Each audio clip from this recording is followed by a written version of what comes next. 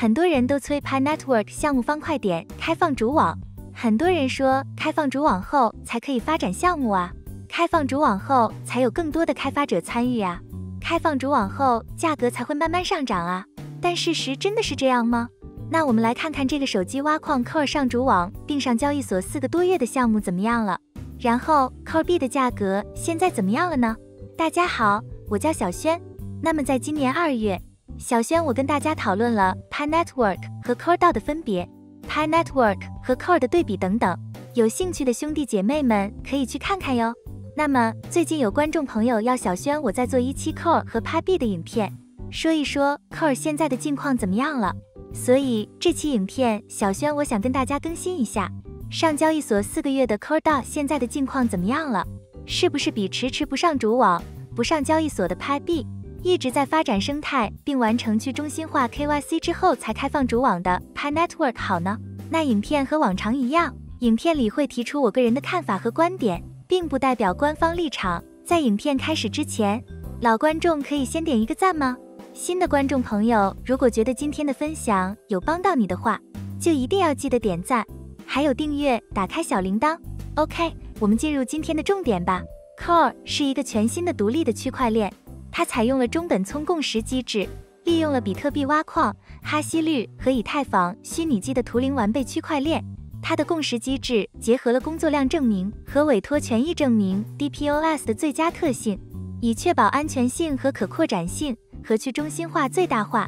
那么到底什么是中本聪共识呢？小轩，我认为 Core 最值得讲的，也是大家最需要去了解的，就是它的这个中本聪共识机制。那么中本聪共识机制可以让 Core 同时满足安全性、可扩展性和去中心化最大化，是区块链三角难题的最佳解决方案。有很多人不知道一点的是，其实 Core 链的前身是 BTCS 中本聪链。号称是中本聪的团队开发，只是在去年二零二二年改名为了 Core 链。那么 Core BTCS 是在二零二零年的十二月十二号开启了手机挖矿模式。很多人一听到手机挖矿，可能就会想说：“哎呦，手机怎么可能挖矿？这是骗局。”但是这个所谓的手机挖矿，类似于 Pi Network，其实只是用了一个创新空投的方式，把币给到了用户，只不过是冠了这个手机挖矿的名。而不是真正的在手机上当那种专业的矿工。那么，Core 通过这种形式，一共向全球的参与者免费空投了五亿多枚的币，而且还有免费获得比特币的机会。所以说，Core 的死忠粉很多。那么，在二零二二年十二月十五号，经历了两年的时间，Core 停止了免费的挖矿。那么，小轩我所了解到的，虽然 Core 的技术层面没有什么大问题，但为什么一直不上主网呢？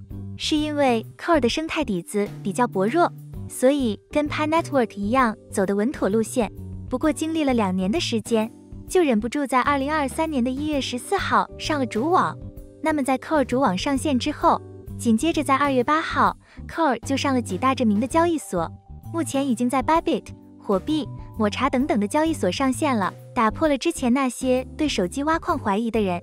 因为之前用手机挖矿 Core 的人已经将 Core 变现赚钱了，所以说手机挖矿不是骗局，只不过那些人对所谓手机挖矿的模式不了解而已。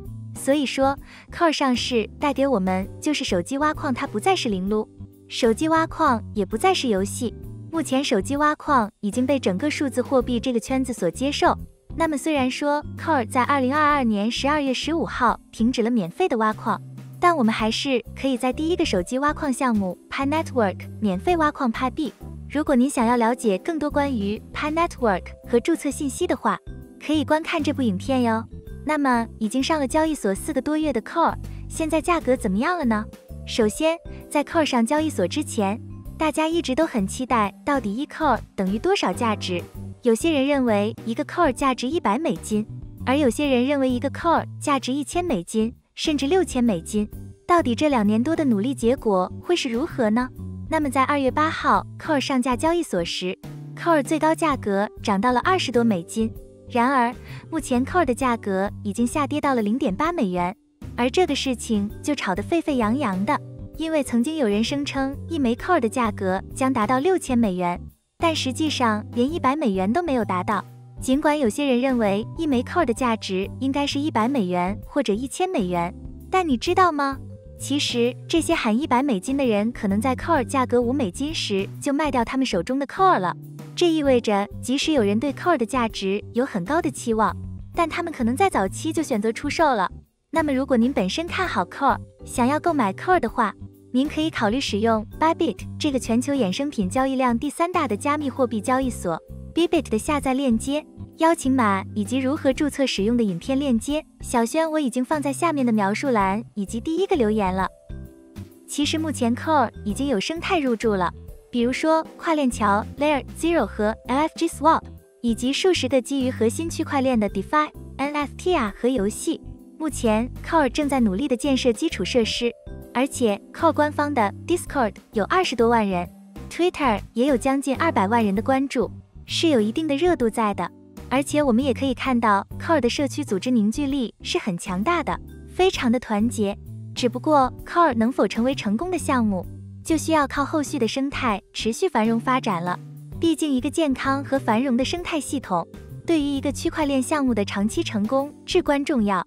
小轩，我想告诉大家一个重点是，如果一个数字货币没有价值的话，没有生态的话，它的价格怎么会高呢？所以说，如果一个项目缺乏生态系统支持，缺乏实际的用途和应用场景，那么其价格很难得到长期的支撑和上涨。毕竟，一个有活跃的生态系统才能够吸引用户、开发者和投资者的参与，为项目带来更多的价值和机会。很多人都催 Pi Network 项目方块点开放主网，很多人说开放主网后才可以发展项目啊，开放主网后才有更多的开发者参与啊。开放主网后，价格才会慢慢上涨啊！但事实真的是这样吗？我们可以通过观察 Core 这个例子来了解情况。Core 是在2020年开始手机挖矿，并于2023年上交易所的项目。尽管 Core 已经上了主网，Core 也上交易所了，Core 也有价格了，但 p a b 呢？挖了一年、两年、三年、四年，什么都没有。但大家有没有发现一点？Core 的价格却一直在缓慢下跌。很多人催 Pi Network 赶快开放主网，但是我们可以以 Core 为例，从中获得一些启示。如果一个项目在没有足够的生态支持下开放主网，可能会面临价格下跌的风险。因为当持有 Core B 的人无法看到项目具备良好的发展前景和应用场景时，他们可能会选择抛售项目代币，导致价格下跌。所以说，如果 Pi Network 现在开放主网的话，在没有足够多的生态支持下，也很大，可能会像 Core 这样，价格一直在缓慢的下跌。所以大家明白为什么他项目方打算先将生态做起来，并完成去中心化 KYC 之后才开放主网了吗？OK，小轩，我想在这里问大家一个问题，好吗？如果你希望 Pi Network 现在开放主网，不管 Pi 币价格多少，就算一个 Pi 币零点零一美金也好，留言一。如果你希望 Pi Network 开放主网时，一个 Pi 币的价格是十美金、一百美金，甚至更高，就留言二。当然，每个项目的情况是独特的，尤其是 Pi Network。但不管如何，一个健康的生态系统对于项目的成功至关重要。因此，对于 Pi Network 或其他项目而言，开放主网前建立强大的生态系统是至关重要的。这包括吸引开发者、合作伙伴的参与，推动项目的实际应用和用户采用。以及持续推动项目的发展和增长。只有在具备健康的生态系统的支持下，项目才有更大的机会获得市场认可，并实现价格上涨。这也是为什么 Pi Network 实施封闭主网的原因。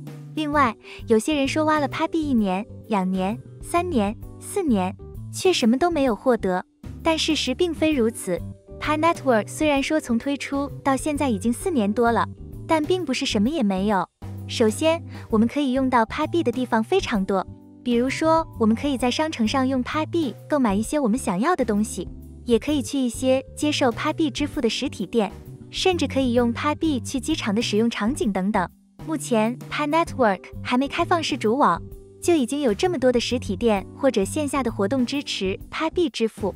那么，如果 Pi Network 开放式主网以后呢？